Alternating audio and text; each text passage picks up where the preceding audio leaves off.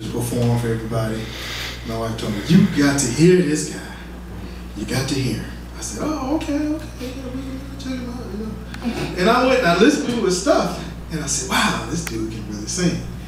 So at this time, we're gonna call Mr. Clark King out to do some vocal stuff for you. Oh, okay.